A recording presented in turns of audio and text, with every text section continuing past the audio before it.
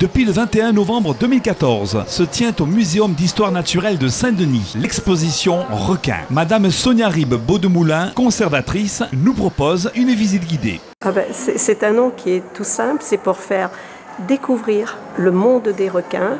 D'ailleurs, commençons, je vous invite à plonger parmi les requins. Vous voulez bien? Alors, nous sommes dans la mer, dans une fausse mer, bien entendu, parce qu'il n'y a pas toutes ces espèces qui sont là en même temps, avec à gauche des espèces qui sont plutôt euh, de régions tempérées et à droite des espèces qui vivent plutôt dans les zones tropicales. Et au-dessus, voilà, nous sommes sous des euh, requins marteaux qui sont sous la surface de la mer et donc, euh, ben, quand on, s'avance, on a ici le requin tigre, le requin plaque noir.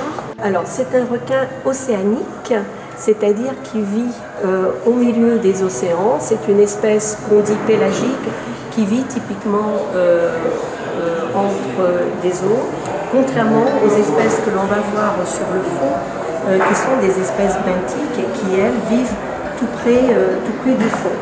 Alors, ici, un requin nourrice qui, lui, vit dans les récifs coralliens, euh, de même que le requin d'Axite qui est en haut.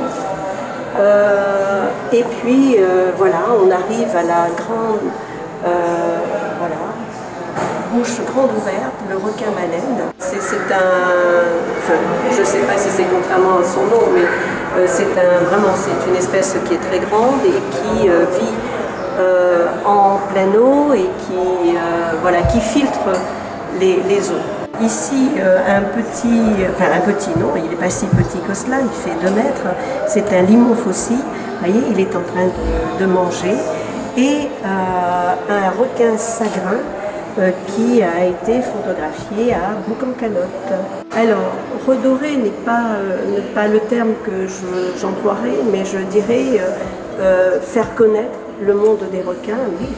Euh, il y a 542 il y a 542 espèces de, requins.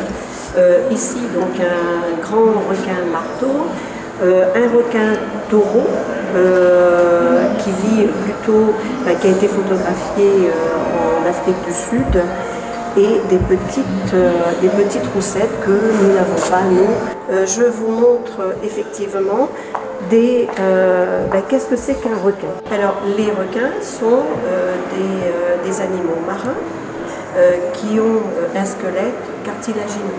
Et ils partagent cette particularité avec deux autres groupes, les raies et les chimères, qui sont des, poissons très étranges, qui ont une sorte de bec et une queue effilée, un petit peu comme une queue de rat. ces trois groupes d'espèces ont en commun effectivement le squelette cartilagineux. Alors oui, c'est un avantage parce que c'est beaucoup plus léger que l'os et les requins n'ont pas de vessie natatoire comme les poissons osseux, mais ils ont ce squelette beaucoup plus léger et puis ils ont surtout un foie énorme euh, rempli d'huile euh, qui leur permet effectivement de flotter pour les requins océaniques, certains sont obligés euh, effectivement euh, de, bouger, de nager tout le temps. Alors, ce qui fait la particularité également des requins, c'est qu'ils euh, ont deux sens que nous, n'avons pas. Comme nous, ils ont la vue, le toucher, l'odorat, le goût, l'ouïe, mais en plus, ils ont des, cellules sur le corps qui leur permettent euh, de percevoir les différences de pression de, l'eau et ils ont surtout un système particulièrement performant qui leur permettent de détecter les champs électriques. C'est ce qu'on appelle l'électroréception. C'est ce qui le rend aussi euh, si performant et redoutable. L'électroréception, euh, aujourd'hui, Google a, des problèmes avec les requins pour ses câbles. ils ont pu filmer des requins en train de manger les câbles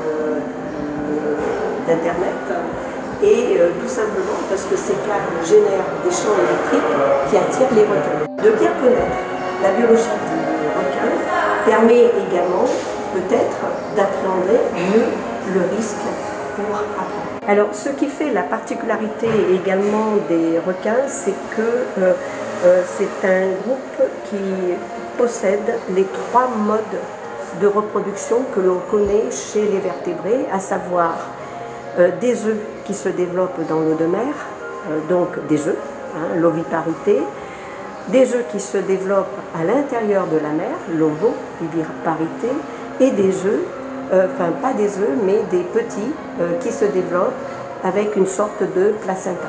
Là, ce sont des œufs de, roussette. Euh, c'est ce qu'on a vu tout à l'heure. Hein. C'est des petits requins qui vivent près du sol.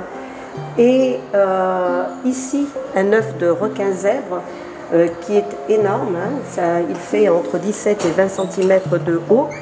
Et euh, on peut assister à l'accouplement et à la naissance d'un requin zèbre qui a été filmé pour la première fois en août 2013 par Oceanopolis. Et là, c'est un embryon, c'est un fœtus de requin océanique. On voit encore le cordon, une sorte de placenta comme un cordon ombilical, mais ce n'est pas un ombilical, c'est un cordon placentaire. Ce que l'on sait au niveau de la classification, au point de vue de la relation de parenté euh, des espèces entre elles, euh, aujourd'hui, de ce que l'on connaît, le requin est plus proche effectivement des mammifères que des poissons osseux. Ce qui est important également, puisque c'est en lien aussi avec la collection de mâchoires que nous avons acquises, c'est euh, les modes d'alimentation des requins, donc des dents et des proies. Par exemple, prenons la mâchoire du requin zèbre, vous voyez que sa mâchoire est pavée euh, de toutes petites dents, tandis que celle du requin mako, les dents sont très effilées. Tout de suite, on s'aperçoit que euh, ces deux requins ne vivent pas plutôt des crustacés et des coquillages qui broient avec cette mâchoire, tandis que le requin mako, lui, euh, va plutôt manger des, petits poissons qu'il attrape avec. Donc c'est un arrache. Ça, c'est un requin qui est parfaitement adapté à la, nage en plein océan. Euh, c'est un requin peau bleue hein, qui est décidé, que l'on peut voir euh, effectivement évoluer en pleine eau ici. Et le record de vitesse chez le requin, c'est le Mako. Euh, on a détecté des vitesses de plus de 80 km/h et le Mako a la particularité, effectivement, lorsqu'il est ferré, de sauter hors de l'eau. Alors ce qu'on peut faire, également dans cette exposition, c'est de toucher de la vraie peau de requin. Alors, si vous la touchez, vous voyez que la peau est rugueuse comme de la toile aimée. Voilà. Et quand on observe la, peau au microscope, on voit qu'elle euh, est formée d'anticules euh, qui sont cannelés, qui permettent effectivement à l'eau de s'écouler. C'est un animal qui est vraiment formidablement adapté à son milieu.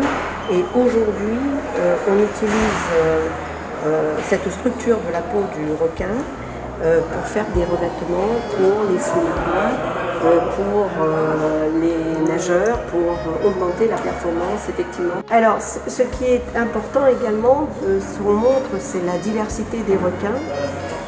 avec des formes tout à fait étonnantes comme celle du requin marteau qui a deux expansions latérales au niveau de la tête et qui lui permet d'avoir une vision très élargie. Euh, ensuite, on a le requin, euh, l'ange des mers, qui a des nageoires très aplaties. Donc, avec une telle forme, on voit bien qu'il vit euh, près du fond. on a le humantin, qui est un requin très étrange, qui vit dans les eaux plutôt froides et qui a une section triangulaire. Et on l'appelle, vous voyez bien pourquoi, le cochon des mers à cause de son, de son espèce, de son allure vraiment très étrange. Et puis euh, il y a un requin-ci, à ne pas confondre avec le poisson-ci, qui a aussi un rostre avec des dents euh, au bout et des barbillons qui lui permettent effectivement de détecter ses proies. Mais euh, le plus grand requin, c'est le requin baleine. Le plus petit, c'est un requin lanterne qui fait pas plus de 18 cm de long. Et on découvre encore de nouvelles espèces de, requins. Par exemple, celui qu'on présente là sur le film est un requin qu'on appelle requin chabot, euh, qui vit sur le fond, qui a été trouvé en Indonésie en 2013. Et vous voyez, comme il marche sur le fond, on est loin du requin qui nage comme le, comme le de tout à l'heure. Il vit dans les récifs On a découvert l'année dernière aussi une nouvelle espèce de requin marteau. Donc il y a voilà. Puis il y a des, habitudes qui sont très étranges. Là, par exemple, on a la roussette vipérine, qui est une petite roussette qui vit sur le, fond. Quand elle se sent menacée, elle se roule en boule et elle cache son œil avec le bout de sa queue. Et sa, copine, la holbiche ventrue, en plus de faire ça, elle se gonfle d'eau et euh, du coup elle est calée dans les anfractuosités des rochers et ne peut plus en sortir. Vous voyez bien que le monde des requins est très diversifié et vous allez découvrir plein de choses étranges concernant les requins en venant voir cette exposition.